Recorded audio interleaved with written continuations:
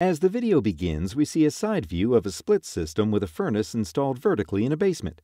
When the homeowner goes to the thermostat, he or she raises the temperature from 66 to 72 degrees. As a cutaway view of the furnace is shown, the draft inducer is engaged and begins to draw ambient air through the system to provide oxygen for combustion and to vent the combustion gases safely out of the house while the furnace is running. Fuel, in this case natural gas provided by the utility company, passes through the gas valve and is then distributed to the individual burners through the manifold. Ignition occurs and that heated gas begins to heat up the individual tubes that together make up the serpentine shaped heat exchanger.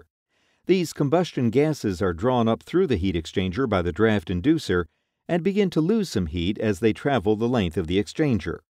The heat exchanger is designed so that return air being drawn from the home is blown between and across the individual tubes where the heat is transferred without the air mixing with the toxic combustion gases.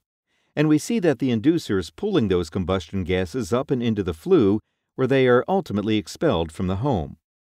As the blower motor begins to turn, it removes cool air from the home through the return registers and blows that air across the heat exchanger tubes. As the air passes through the heat exchanger, the heat transfers to the passing air and then is distributed via the supply ductwork and registers to the inside of the home until the temperature set at the thermostat has been satisfied.